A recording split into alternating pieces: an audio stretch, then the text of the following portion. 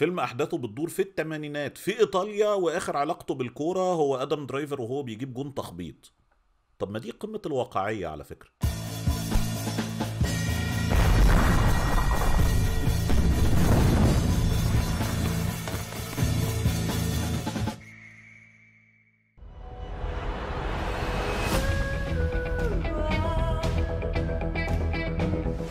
السلام عليكم ورحمة الله وبركاته أهلا وسهلا بكم في مراجعة جديدة من فيلم جامد والفيلم اللي هنتكلم عنه النهاردة هو House of Gucci House of Gucci هو واحد من أهم أفلام السنة لعدد من الأسباب منها إنه من إخراج ريدلي سكوت أو بالتحديد هو تاني فيلم السنة دي لريدلي سكوت بعد فيلم The Last Duel منها فريق البطولة الرائع ومنها القصة اللي بيتناولها وهي حقبة مهمة جدا في تاريخ بيت الموضة العالمي جوتشي من خلال شخصية باتريتسيا ريجاني اللي بتنصب مصيدة حوالين وريث إمبراطورية جوتشي ماوريتسيو وبتتجوزه وبتحاول تجبره إنه يصعد لرأس هذه الإمبراطورية. وبنشوف رحلتها اللي مليانة طموح وأحلام وانتهازية وكذب وخداع وفي بعض الأحيان ما هو أسوأ من ده كله.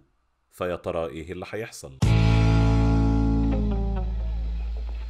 طريقة تناول مخرجنا ريدلي سكوت لأحداث فيلم House of Gucci غريبة شوية. بتنتقل كتير جدا ما بين أوتار الجدية والهزل. مع ميول زايدة شوية ناحية الهزل بل والمبالغة الشديدة في استخدامه. والمؤسف هو إن الانتقال ده مش رشيق على الإطلاق بل في بعض الأحيان ممكن يكون صادم وده كان ليه تأثير سلبي ملحوظ على الإيقاع. دايما كمشاهد كنت بحس إن أنا حضرت العواطف الخطأ تجاه المشهد المتوقع. مقدمات بتحسسك إن أنت قدام موقف جاد وبعدين بتكتشف إن أغلب الممثلين اللي موجودين فيه جايين يهرجوا. وفي أحيان كتير كنت بحضر الابتسامة على إننا مقدمين على موقف خفيف. وبعدين تلاقي دراما جادة جدا لا تتناسب مع المشهد اللي قبلها ولا اللي بعدها. حاسس إن عنصر الصدمة في الإيقاع ممكن يكون مقصود. وبصراحة هي برضو شجاعة إن إحنا نحاول حاجات جديدة في تناول القصص الملحمية. خصوصا وإنها قصة ملحمية حقيقية. وفي ناس كتير عاشوها وعارفين تفاصيلها. بس زي ما بنحيي الشجاعة كتير جدا لما بتكون ناجحة دي فرصة كويسة جدا عشان نوري للناس وشها الآخر. لما من الآخر بتقلش. بتقلش حتى في المقومات الرئيسية للسيناريو. قصتنا فيها تحولات كتيرة وتقلبات كتيرة في مواقف عدد كبير من الشخصيات. منها تحولات عديدة في طبيعة علاقة بطلنا موريتسيو جوتشي وباتريتسيا ريجاني. حب وملل وفاء وخيانة احترام وكراهية. والاعتماد الكبير في توصيل التحولات ديت كانت على مشاهد قليلة قوي. من منظوري أنا كمشاهد ما كانتش كافية. ففي الآخر لما أجي أبص على علاقتهم بشكل كامل من نقطة البداية لنقطة النهاية ألاقي نفسي ما اشتريتش قوي. وده شيء مفجع جدا لأن كمان مرة إحنا بنتكلم على قصة حقيقية. انت مش محتاج تشرح لي شيء خيالي ده شيء حصل فعلا. كل اللي مطلوب تناول ومفردات التناول الهزلي ما كانتش موفقة خصوصا وإنها كانت كثيفة جدا. من أول تصميم عدد معقول من الشخصيات الكرتونية لغاية طريقة تناول الثقافة نفسها. الثقافة الإيطالية في السبعينات والثمانينات والتسعينات اللي كان فيها احترام كافي لمفردات الزمن وشوية المكان ولكن مش بقدر كافي الظروف على الإطلاق. إحنا بشكل كبير جدا بنتكلم عن صراع إمبراطوريات الموضة في السبعينات والثمانينات والتسعينات فترة التألق الأعظم لأكبر الأسماء العالمية. ومع ذلك تناول ده جوه الفيلم كان سطحي جدا. ما يميز طبيعة جوتشي مقابل الآخرين تقريبا ما شفتهاش. قاعدين طول الفيلم عمالين نتكلم عن الإرث بتاع جوتشي الشكل الفني المعقد العريق اللي بيواجه بعض الصعوبات في إنه يواكب الشكل العالمي الجديد. وكل ده كل اللي بنشوفه منه كلام. آه يا جماعة إحنا بنتكلم عن فيلم موضة من غير موضة. حتى اللغة شكلها يضحك. الفيلم اختار إن لغة الحوار كلها تكون أمريكاني بلكنة طلياني ولكنة طلياني مش جد قوي. عمري في حياتي ما قدرت أحب المدرسة دي والمرة دي مش استثناء. ما كانش ينفع نتكلم أمريكاني شكله رسمي شوية وخلاص. لأن حتى في حدود اطلاعنا كمشاهدين للطلاينة اللي بيتكلموا أمريكاني يعني بيستخدموا اللكنة دي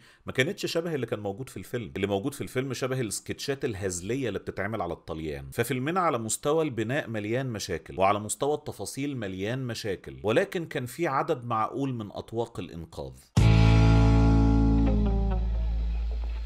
من الحاجات الحلوة والموفقة في الفيلم هي طريقة تجسيد بعض اللحظات المحورية في تاريخ عائلة جوتشي. طبيعة علاقة أفراد العائلة ببعض. الاختلافات اللي ما بينهم اللي عمرها ما وصلت لمرحلة الشقوق إلا مع ظهور شخصية باتريتسيا وده كان مكون درامي ناضج جدا. عشان المشاهد يفهم قد إيه خططها كانت شيطانية وقد إيه تأثيرها كان كارثي. مشاهد قليلة صحيح ولكنها كانت بتصيب الهدف. ودي عموما كانت أفضل لحظات التجسيد لليدي جاجا اللي هي من الآخر النص الأول من الفيلم. لأن الفيلم ما قدمهاش في أي لحظة زي ما تكون شخصية شريرة أو شيطانية. يمكن حتى المشاهد يتخدع شوية في دوافعها في البداية ولكنها بعتت رسائل كتير من خلال التجسيد تخليك تفهم أبعاد شخصيتها بس عمرك ما تتعاطف معاها. في النص التاني من الفيلم أدائها كان أقرب ما يكون لنادية الجندي حتى والله شكلا كانت شبه نادية الجندي وتباين ادائها ده بيدينا فرصة علشان نقدر جودة تجسيد آدم درايفر. لأنه على عكسها في النص الأول كان خامل جدا وفي النص التاني كان أنشط بكتير. بس في كل الحالات عمره ما وصل لمرحلة إنه يكون مزعج. أو للأمانة هو عمره ما كان ممكن يبقى مزعج بس كان ممكن يبقى ممل. وهنا جودة جوهرك كممثل بتظهر. ليدي جاجا لما كان معاها مواد جيدة جدا طلعت منها شغل جيد جدا. لما كان معاها مواد فقيرة ما قدرتش تشيلها. على عكس آدم درايفر اللي كان بيطلع أفضل ما عنده مهما كانت جودة المادة اللي بيشتغل بيها. نفس الأمر ينطبق على آل باتشينو رغم ان دوره صغير وناس كتير ممكن تقول عليه نمطي بس دايما كان ملحوظ وعمره ما كان ممل. وفي النص التاني من الفيلم مشاهده كانت قليلة ولكنها كانت متألقة جدا. وساعدت جاريد ليتو إنه هو كمان يقدم أفضل لحظاته في الفيلم. لأن بصراحة في أغلب أوقات الفيلم جاريد ليتو كان من المكونات العجيبة جدا. سفير الهزل والشخصية الكرتونية الأوضح. ودي مدرسة تناول ما فيهاش مشكلة. المشكلة إن أنت كمشاهد لما تتفرج عليه تحس بالغرابة. تحس إن هو على جدول زمني غير بقية الشخصيات. بطيء قوي ومبالغ قوي يمكن أسوأ أوقات كل الشخصيات اللي في الفيلم هي الأوقات اللي شاركوا فيها الشاشة معاه. لأنه هو بياخد وقته جدا عشان يعبر عن الانفعالات بتاعته وهم ما كانوش عارفين يعملوا إيه؟ حتى الهزل بتاعه ما قدرش يوصل في أي مرحلة لدرجة الكوميديا اللي ممكن فعلا تضحك إلا في النص التاني من الفيلم وفي مشهد محدد مع آل باتشينو عنصر الخبرة على ما أعتقد. يمكن في الكواليس آل باتشينو شخط فيه وقال له ما تظبط ياد وتشتغل زي الناس. وعنصر الخبرة موجود في الفيلم من خلال شخصية تانية كمان وهي اللي جسدها جيرمي آيرنز. هو كمان كان عنده مشهد مع جاريد ليتو تقدروا تقولوا إن هو كان ظابط فيه شوية. على الصعيد الفني الفيلم ما فيهوش حاجة مميزة قوي على مستوى التصوير. يمكن بس تكريم الحقبة الزمنية زي ما قلت. تصميم الإنتاج والإخراج الفني جيدين جدا ولكن كمان مرة لما تيجي تتكلم عن حقبة الموضة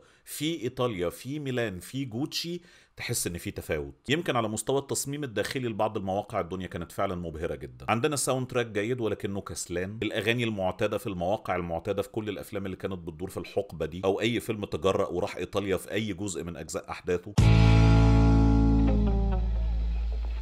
فيلم House of Gucci اقدم على مخاطرات وده شيء يحترم والمخاطرات ما اصابتش معاه وده شيء هيدفع ثمنه وبيدفع ثمنه دلوقتي بالفعل في الاستقبال الجماهيري والاستقبال النقدي مع التكريمات المستحقة لبعض الأداءات التمثيلية اللي بتوضح للمشاهد قد إيه دي كانت فرصة مهدرة. مش عارف الفيلم ده فكرني شوية بفيلم جوبز الأول اللي عمله أشتون كوتشر وهو كان تناول مبسط وهزلي لقصة مهمة جدا في التاريخ المعاصر. دي برضو من القصص اللي أحب أشوف لها تناول جاد شوية مش بعيد تماما عن المخاطرة ولكن بيحترم الإرث وبيحترم الظرف وبيركز أكتر على الزوايا اللي بتخلي القصة دي مهمة تاريخيا. تقييمي لفيلم House of Gucci هو ستة ونص من عشرة.